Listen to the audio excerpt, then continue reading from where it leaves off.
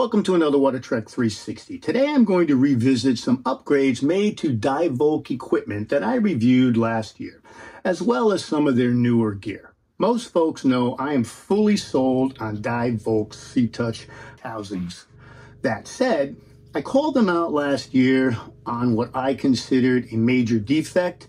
Let's have a quick look at that. The big ugly for me is the point of failure right here with this single knob. If you have a challenge with this screw and this clip, and for whatever reason, it falls off, right? Not only does that fall off, but your phone falls off and whatever other attachments you have. I think it's got to be looked at for the Divevolk folks as an R&D opportunity that you don't tie everything to this one screw. Well, they fixed it. The good news is they have a new one-piece lens holder bracket. Let's look at some of the improvements. First, to install, loosen this screw on the bottom back of the bracket. Position the bracket over the housing and then retighten the screw with an Allen wrench. Make sure you align it properly before tightening to get a good fit. It may take several tries, so once on, I suggest just leaving it. And removing the lens arm when not in use. Remember to soak the housing really well if you're going to leave the bracket on. The new bracket's a little heavier. It's up from 6.5 ounces to 7.2, but not huge. But weight adds up as we'll see shortly. Remember to adjust your pins uh, when using the macro and wide angle lenses, as I showed in my previous video. You need to ensure you are centered over the lens you choose to use. If you don't, you will get blurriness. They've enhanced the washers for the top screw and the side pins. They've provided a bag of spares with a hex wrench. Now, if the arm falls off, the primary housing attachment and anything you have on the shoe mount will stay attached. Kudos to Divevolk for their redesign. They also now have a magenta filter, which is great for green water diving. They still need to look at the membrane protector. As I pointed out in my previous video, it doesn't fit properly when the lens bracket is on. I snipped out these pieces where the protector overlaps the bracket to keep it flush.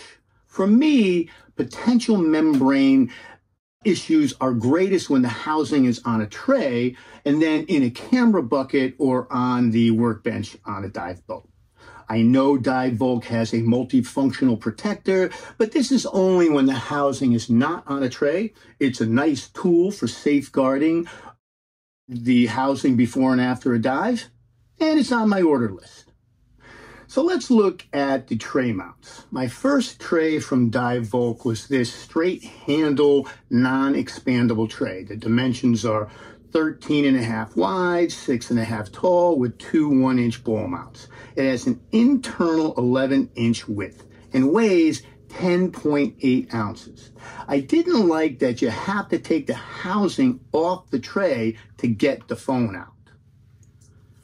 So I got their new one, which is what I've been using ever since. The benefits are that you can slant the housing out for easy phone retrieval and, you know, keep it solid. You can shorten the internal width if desired.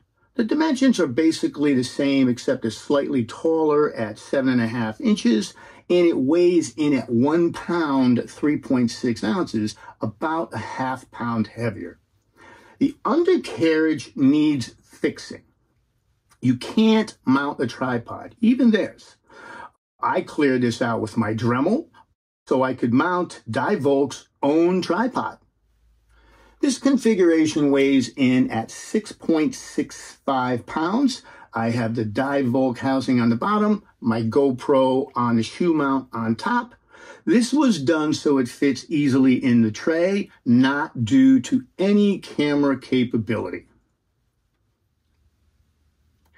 I also picked up their new tripod. This weighs in at 8.4 ounces, has an optional 6 ounce weight uh, you can attach to the bottom to help stabilize it.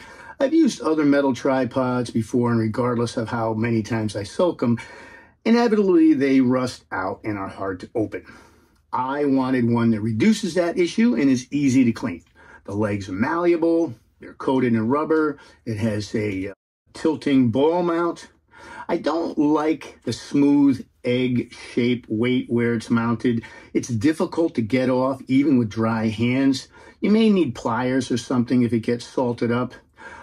It could use an extension or a flange on the end, something that you can grip to twist off. I purchased some new lights. I know Divevolk has lights. They have a PV22 and an SL50. I wasn't looking at spending any more money for my recent trip, so I held off buying them until I came back.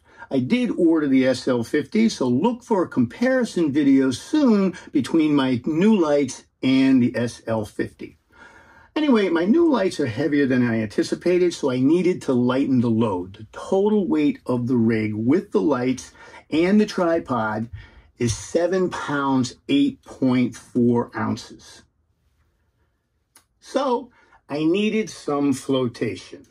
Divevolk makes a float with 450 grams of buoyancy, roughly one pound of lift, but it has a length of 25.4 centimeters or 10 inches. This is too long for my personal needs. I didn't want floats longer than 8 inches, nor did I want to build a rig with the big, cumbersome old M formation. This is close enough to that. That configuration is fine for photographers who are taking still shots and want to set up for specific lighting. For underwater video, things change rapidly, and I wanted a compact length for wreck diving up here in the Northeast and something where I could put a lanyard around my neck so I can let go of the rig and use a line reel to get back to the anchor line and still protect my gear. So I bought these five inch floats. Unfortunately, they only had 108 grams of buoyancy, so I had to improvise. I bought some standard tube foam from a large box hardware store. It cost three bucks for six feet. Uh, for each float, I cut seven three inch pieces and attached them uh, with zip ties. Total land weight for each float is 14 ounces, bringing my full rig on land to 8 pounds 7.7 ounces. But underwater, the improved floats gave me over 5 pounds of buoyancy. Huge, huge input. Since I often use a tripod, I want this to be slightly negatively buoyant. Uh, I know many folks say you need to be neutrally buoyant, but that doesn't work if you are going to leave the camera and swim away. I need to ensure that it won't tip over in a mild current.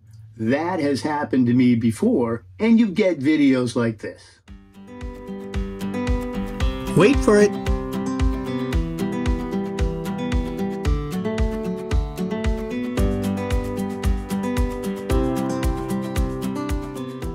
All good, right? Not so fast. The floats worked well in shallow water under 30 feet. Murphy's Law, I forgot about compression. Once I got to 80 feet, probably earlier, these foam floats compressed, slipped out of the zip ties. Two things happened after that. First, I lost six pieces of this foam, which floated away, and I added more plastic to the ocean. That upset me. Second, the loss of the floats led to an immediate weight gain on one side of the rig adding several pounds to my dive weight and making it harder to control the rig. So I improvised again. I put this plastic mesh around it, put a couple extra zip ties, so now if they compress and loosen up, they won't leave. Problem solved.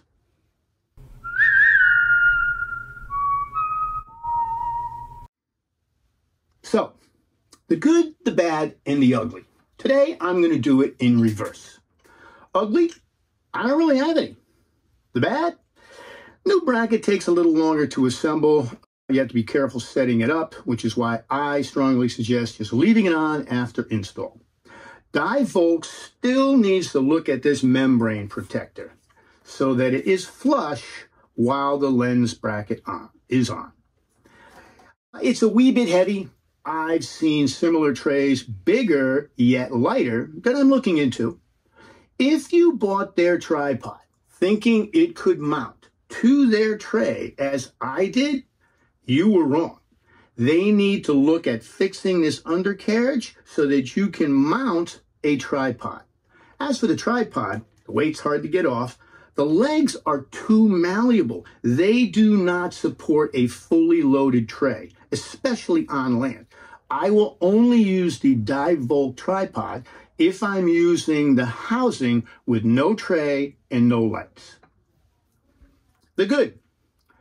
This is the differentiator. Divevolk listened to their consumer. For several weeks last year, I exchanged emails with the Divevolk developers, even submitted designs to them for a built-in lens bracket. This new bracket is an efficient compromise. Again, bravo to Divevolk.